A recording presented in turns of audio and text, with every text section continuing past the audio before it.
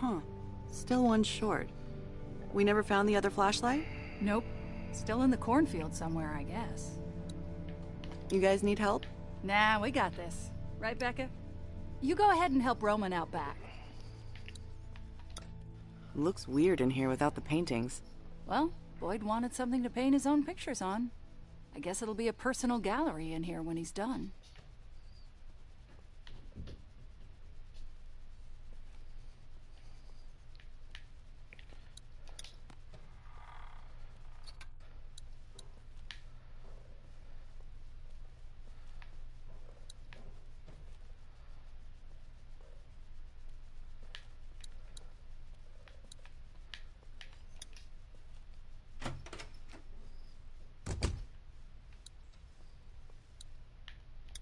I don't miss going on raids for this stuff. Ooh, starting to thin out in here. Thank God we have a garden now. Oh, you scared me! He's hungry. Guess he knows it's feeding time.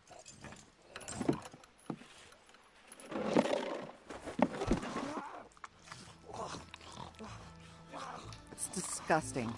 Can't disagree with you there.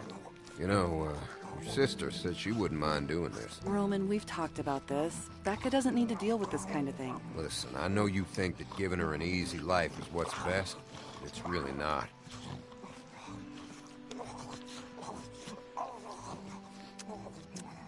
I know, I just want her to have a little more time to be a kid. As long as she knows how to protect herself, it's fine. I don't want her to stop caring about people.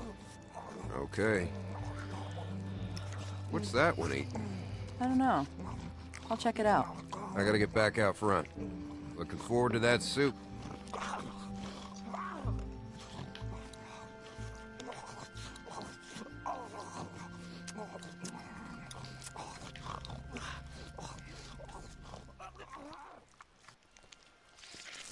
Oh, God.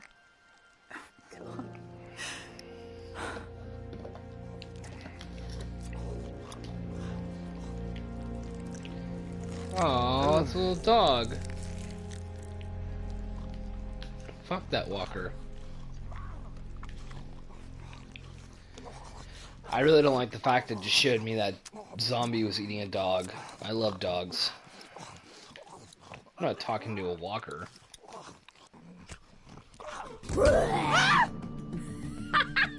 Oh, Jesus, don't ever fucking do that again! Whoa! What's your problem? I do this all the time. You don't get all pissed off. I'm sorry. It's. It's just the watchdogs. I guess they found a, a puppy. A puppy? Yeah. I guess it just got to me. You know, it was. It was so little. You don't think about babies anymore, but after a while, you just kind of accept this is it. Yeah. I guess you kind of forget. right? But then, you know, there it is. You see it and you want to protect it, and. And now it's gone. That sucks. Maybe if Clive dies next, we can put him out there instead. He'd make a better watchdog anyway. Becca. Shel! Becca! Something's going on outside! What is it? I don't know, something bad. We gotta find Roman.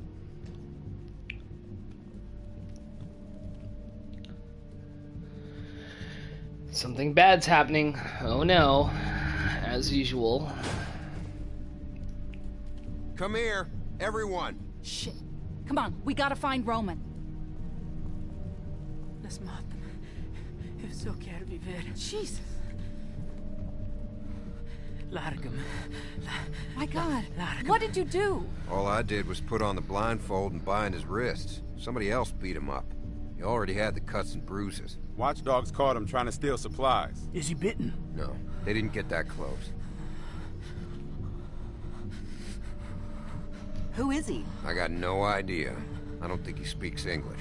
I can't believe he just snuck in. Second break-in we've had in the last couple of weeks. Last time we couldn't catch him. And they got away with more medicine than we could afford to lose. Well, we all know what it's like trying to survive out there. He just came in here for food. Let's just give him some and send him on his what way. if there are more of them? He could have been scouting. That's right. He could be part of a larger group. If there were more, I think we would have seen them by now. Boyd's right. We should just let him go. Why? Look at the poor bastard. We've all done the same thing trying to survive. We don't have to be responsible for him, but we can give him some food and let him take his own It's chances. not about his chances, it's about ours. What's to stop him from coming back? And armed next time. We could always use more hands keeping the place secure. Boyd, we don't need any more people here. And look at him. How is he, He gonna... can't even speak English. This group works because we know how to communicate.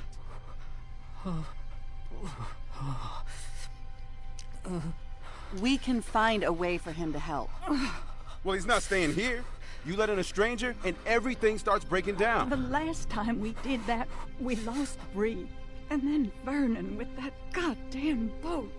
Vernon and the boat are the reason the group fell apart, not trusting strangers. We stole their boat from that teenage kid at gunpoint. That's when our group fell apart. He can't stay here. I agree. Keeping him here is not an option. In his condition, he'd be a drain on our resources. Look, we all know what we're talking about here, so let's stop dancing around it. We either let this guy go and take our chances, or we kill him. Jesus Christ. Are you serious? Roman's right. It's gotta be one or the other.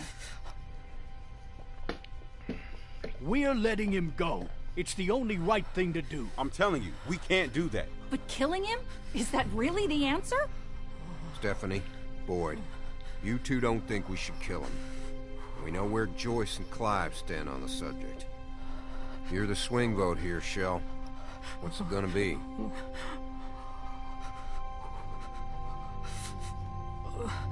We have to set him free. We can't. He's not even armed. We can't just kill him. This isn't in self-defense. Isn't it though? If it means he can't come back to hurt us? That isn't the same thing. But last time. Joyce, that was a long time ago. If we kill this man, then we're giving up a part of ourselves that we can never get back. I'm not ready to let that go.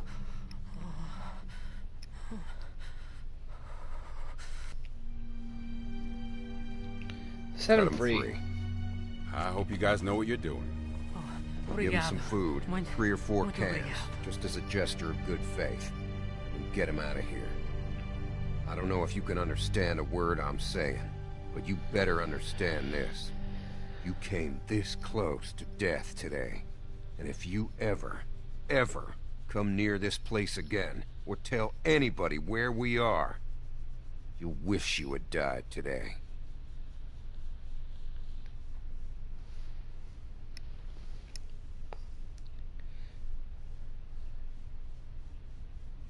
We gotta stay true. We have to like preserve life.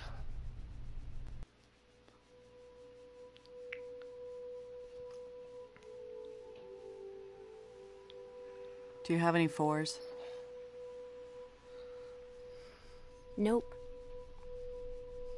Do you have any sevens? Yep. I miss playing guitar for everyone. It was stupid, but fun. Why don't we do that anymore? Since the attack, there's a lot we don't do anymore. I shouldn't have let that guy go. Boyd would still be alive and everything would be the same. Boyd agreed it was the right thing to do. Anyway, Roman's obsessed with keeping this place secured now. You know that's impossible, right? Well, after last time. Roman isn't taking any chances. Then he should fix the loose board behind the storage lots. Becca, are you sneaking out again? Don't let anyone else know about that spot. Just in case. In case of what? In case something happens and we need to get out of here in a hurry. We've got to always be prepared. Shel, I need to talk to you. It's open. What's going on? Hey, Becca. Hey, When you uh, get a sec, I need you to come out and talk to me. It's important. Okay. I'll be outside. You'll see me. We can talk here. No, just finish up here and come find me. And don't take too long. what was that all about? I don't know. Probably not good, though. Stay here. It'll be just a minute. I'll fill you in when I get back.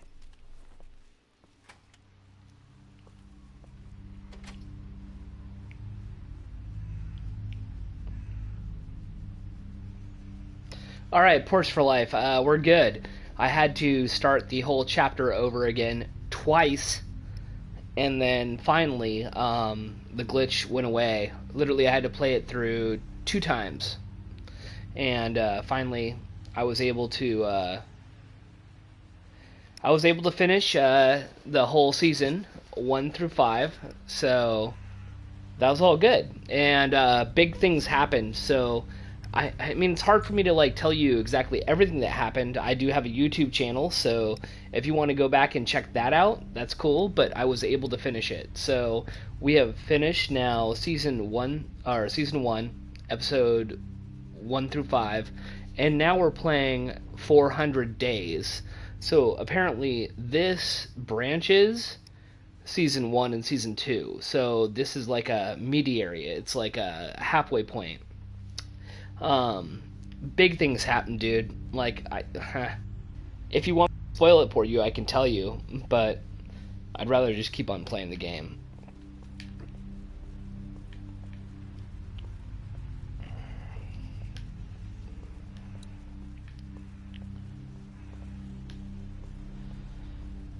at this point we've actually uh let's just put it this way so uh, I'm about to like put out spoilers here, so I know there's a 15 second delay. So just go ahead and let me know whether or not you want me to spoil it for you. Do you want spoilers? I'll give you spoilers.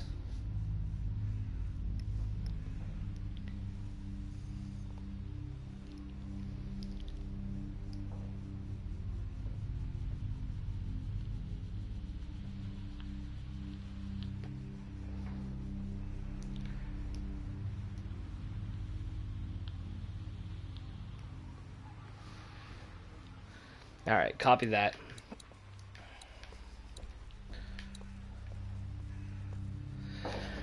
All right, spoilers. Okay, so I was playing as Lee, who is the black man, the black guy I was playing with. Well, here's the deal. We got to the school. We were able to find the fuel, the battery, and the gas. We got all those three things out. However, in the process, we got bit. Lee, myself, the black guy, got bit. I chose to tell the, the tell the group that I got bit. I got bit in the arm. I was able to dismember my arm. Literally, I cut off my arm to um, save me time.